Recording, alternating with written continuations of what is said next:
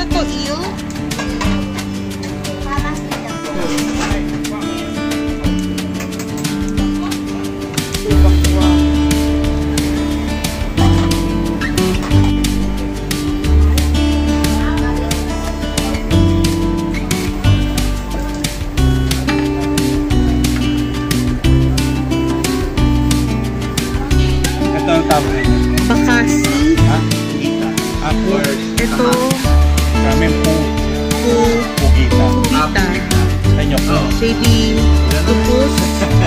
balbakwa. Ito ba po? And ano tawag dito, sir? Dito. Uh, type of shellfish.